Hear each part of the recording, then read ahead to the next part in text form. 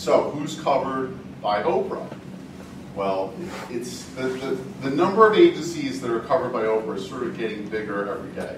The, the easy ones are the school boards, um, the, uh, the, the municipalities, um, and you know any anything in county government, uh, housing authorities.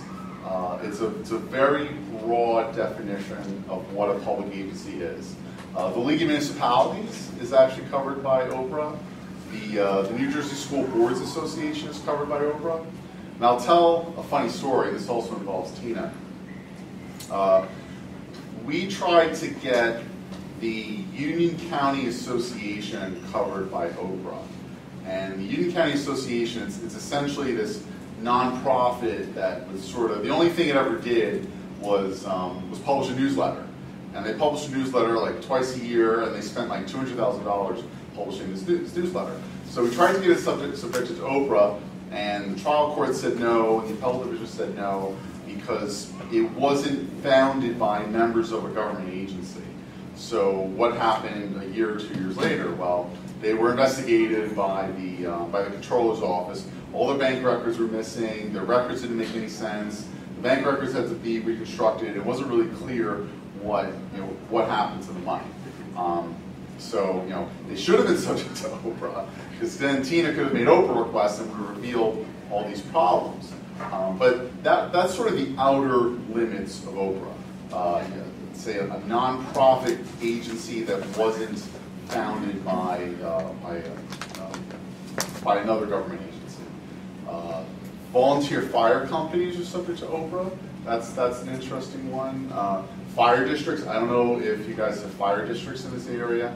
Fire districts are subject to OPRA.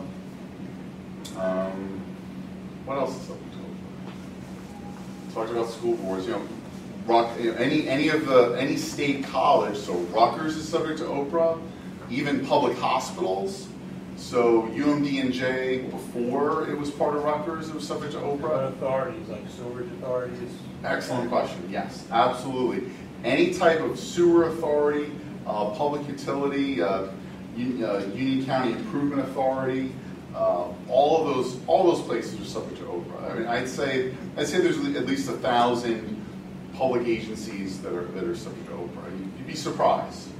Um, you know, I once, I once got a daycare center subject to OPRA because uh, the daycare center was actually founded by the members of the council of the town, and the, and the, the members of the council of the town also controlled who was on the board of the nonprofit daycare.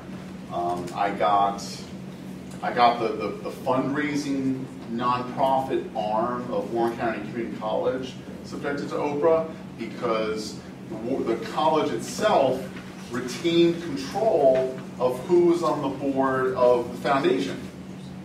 Uh, so you see, the, it's, it's, you kind of, it, it can be a little tricky, but sometimes you have to really dig deep down who controls the board membership, who founded the, the organization. You know, with the with the um, with the uh, with the daycare, we went you know we went to public records that were 35 years old.